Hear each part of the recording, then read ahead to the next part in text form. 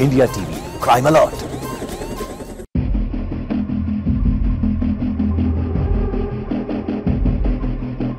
Shraddha murder case में बड़ा update आया है। खबर है कि दिल्ली पुलिस आज इस केस में चार्जशीट दाखिल कर सकती है।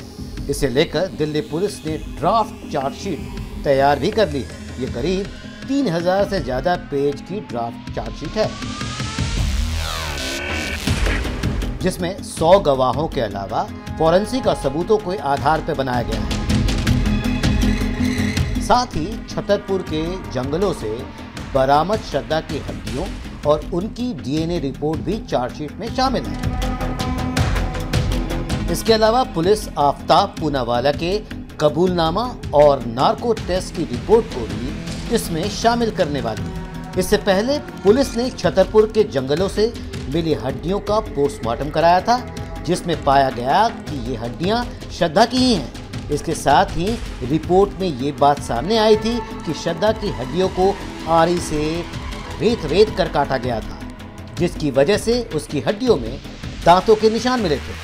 वही कहा जा रहा है कि इस चार्जशीट में पुलिस आफ्ताब पूनावाला का कबूलनामा और नार्को टेस्ट की रिपोर्ट भी शामिल करने वाली है। हालाँकि इस रिपोर्ट की कोर्ट में खास अहमियत नहीं होगी वैसे भी श्रद्धा वॉकर मर्डर केस के बारे में सभी जानते हैं। इस केस ने पूरे देश को बुरी तरह से झंझोर कर रख दिया है। शुरुआती जाँच में तो श्रद्धा को गुमशुदा माना जा रहा था। लेकिन जब श्रद्धा के लिव इन पार्टनर को हत्या के केस में गिरफ़्तार किया गया तो इस केस ने सनसनीखेज मोड़ ले लिया।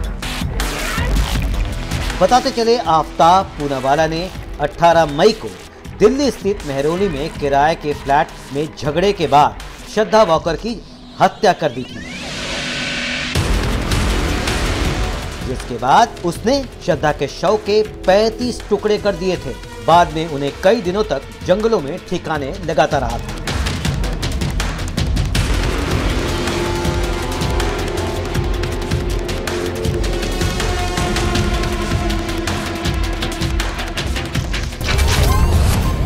जुर्म? कितना भी संगीन क्यों ना हो। अपराधी कितना भी शातिर क्यों ना हो।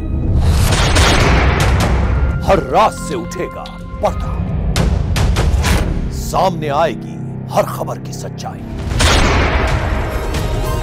इंडिया टीवी, क्राइम अलर्ट पर। क्राइम की खबरों से अपडेटेड रहने के लिए India TV crime alert channel YouTube पर सब्सक्राइब करें। बेल आइकन दबाना न भूलें। सावधान रहें, सुरक्षित रहें, देखते रहें। India TV crime alert